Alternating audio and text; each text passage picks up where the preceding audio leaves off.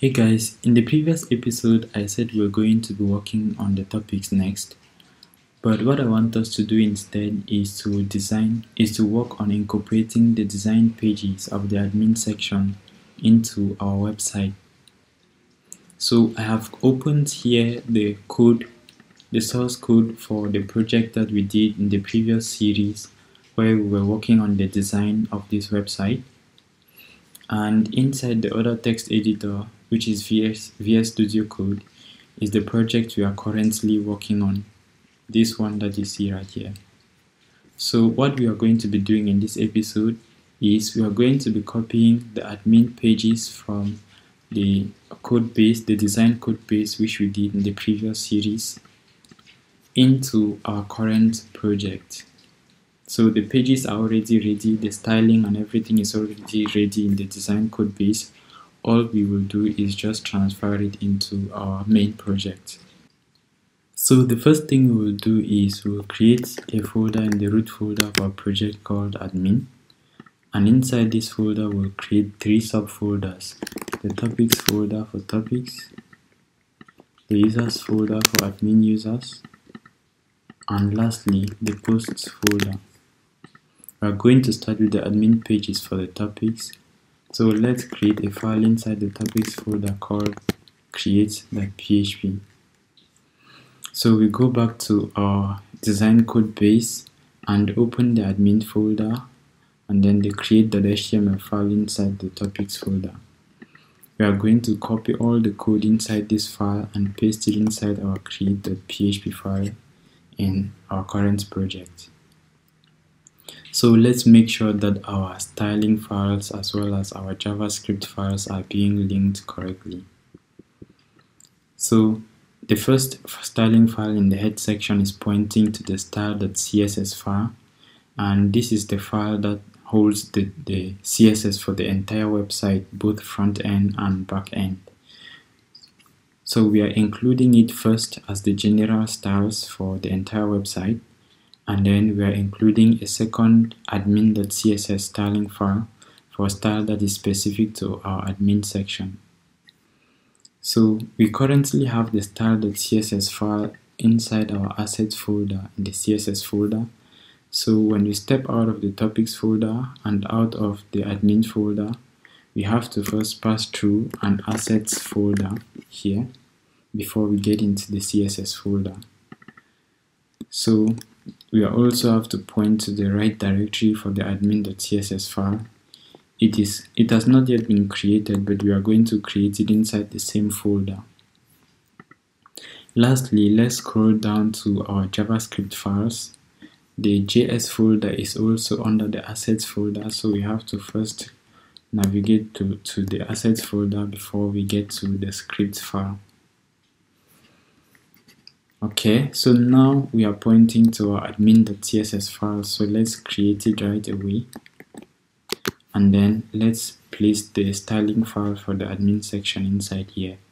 And of course, this should come from our design code base. So we open the CSS folder and the design code base.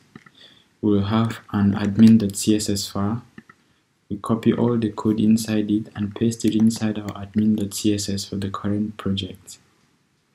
So having done that, we have linked up all the pages for all the assets for our create.php page. So we go to our browser and uh, let's try to navigate to this page. So we have it inside the topics folder, inside an admin folder. So we'll say admin topics create.php and we hit enter. And this is how our create topic page looks like.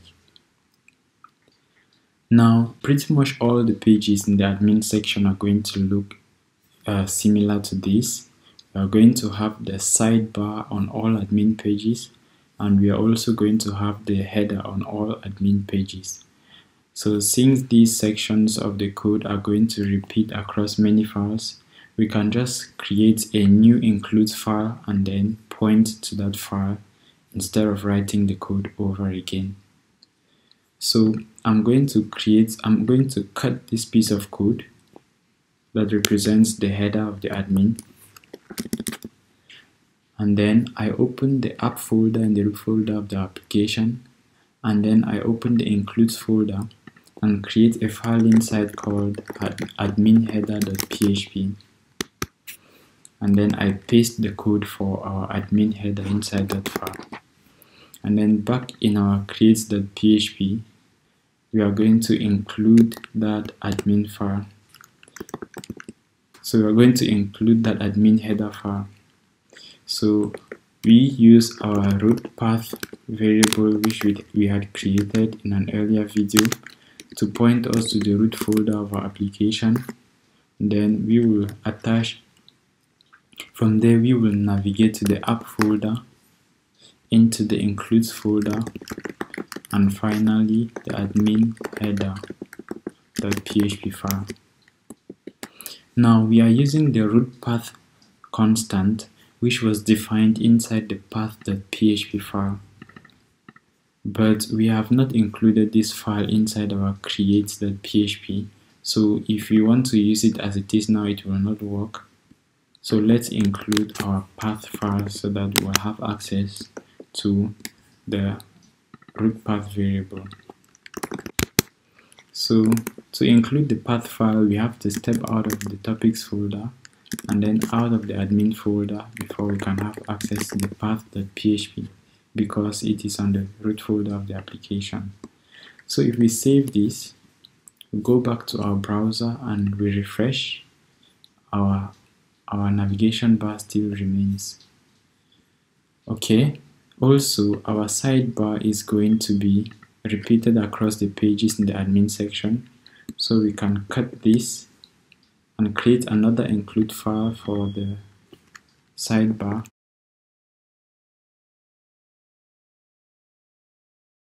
We paste the code inside and then back in our create.php we are also going to include our sidebar. So we can just copy this include for the admin header. We paste here and then we modify it to point to the admin sidebar.php file. So if we do this means we are including our admin sidebar. If we refresh our sidebar still remains now this manage the manage post link is expected to take the user to the index.php file where they can manage all posts then the manage users is also going to take the user to an index.php file where they can manage all users and the same thing with the topics. So let's link up all the links inside our admin that php or admin sidebar file so that when the user clicks on it it will take them to the right place so since we are including the path variable inside this file the path.php file inside this file, we will have access to the root path and the base URL inside our admin sidebar. So instead of doing this, we are just going to echo the base URL so that it can take us to the root folder of the application and then we navigate to the posts folder and then the index.php file which is where we are going to write the code to manage our posts. Of course, we have not yet created this file, we will create them very soon. So the next link will point us to the index.php file in the users folder. And lastly, the index.php file in the topics folder.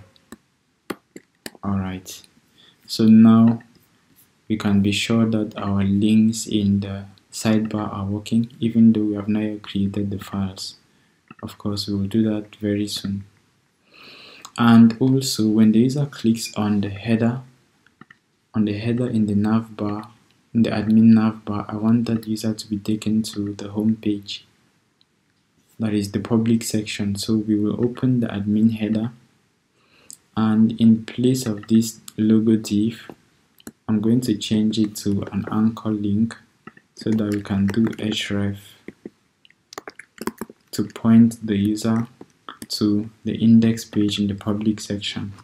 So once they have been taken to the root folder of the application with base URL, they will just visit the index.php page so we go back and refresh. And now when we click on this page we'll be taken to the admin section. Okay. Okay so that is it for our create page. Uh, there is just one little thing we have left. And this is the add topic button and the manage topic button here they are on the interface. When you click on this one it takes you to the create.html instead of create.php and when you click on this one it takes the index.html instead of index.php so for these ones I'll just change them to PHP. And I don't need to use that long method because the files will always be in the same folder or you could use the base URL if you want to make sure this path is absolute but I'm just going to leave it like this. So back on the interface if you refresh and then you click on add topic it will take you to the same page which is the create.php and then if you click on manage topics it takes you to the index.php which we are about to create now okay so our next page is the index.php page inside the topics folder. And this page is going to be responsible for managing all the topics. Now like I said all pages in the admin section are going to look pretty much the same. They, they are going to all have the sidebar and the header. The only part that is going to be different is going to be this section this white section in the middle. So in order to create the index file, instead of copying it from the instead of copying it from the design pages and modifying the, the path to the assets files again, I'm just going to copy what I have inside creates.php and paste it inside the index.php. So now we're going to change the title of the form of the white section. Sorry we are going to change the title tag because in this case this is no longer the add topic page. It is the manage topics. Okay. So the next thing we are going to modify is the title here of the admin content. But this admin content is the white section. And the code for this white section not exactly white, but this section that looks like white. The code for this section is going to come from the design pages. So this white section is the admin content, the div with the class of admin content. So what we are going to do is we are going to select this code and delete it because we are no longer we no longer expect a form here. We expect a table and if we go to the design code base the index.php file inside the topics folder we are going to see the admin content here. So we copy make sure you copy both the opening and the close, closing tag for the admin content.